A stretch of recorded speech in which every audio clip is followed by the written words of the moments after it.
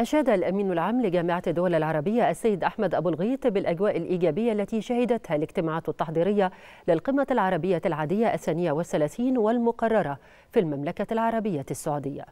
جاء ذلك في كلمة لأبو الغيط في افتتاح أعمال المجلس الاقتصادي والاجتماعي التحضيري للقمة العربية العادية القادمة والتي ألقاها نيابة عنه السفير حسام زكي الأمين العام المساعد.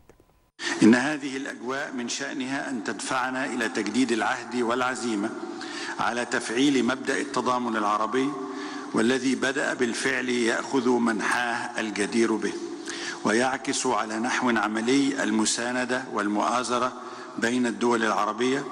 والمؤاخاة التي لطالما تطلعت إليها الشعوب العربية لتحقيق التكامل الذي بنيت عليه جهود تأسيس الجامعة.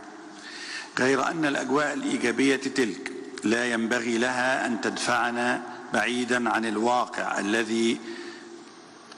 تشهده المنطقة العربية منذ عدة سنوات وهو تراكم التحديات الخطيرة وتداخلها